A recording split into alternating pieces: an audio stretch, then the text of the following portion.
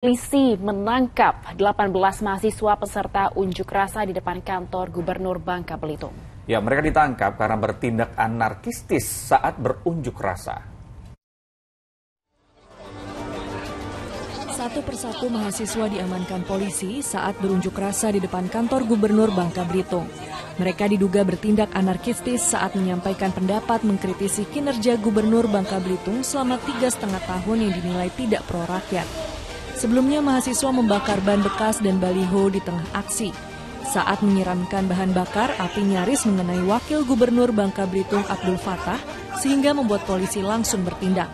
Lagi kita amankan tidak salah sekitar 18 orang. Nanti kita sedang mencoba kembali.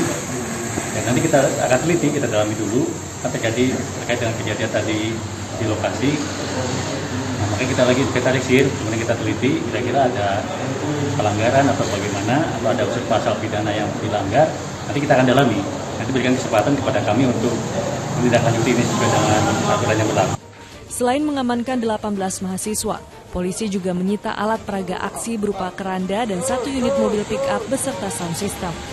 Para mahasiswa yang ditangkap akan menjalani proses hukum lebih lanjut di Polres Pangkal Pinang. Adha Agus melaporkan dari Pangkal Pinang, Bangka Belitung.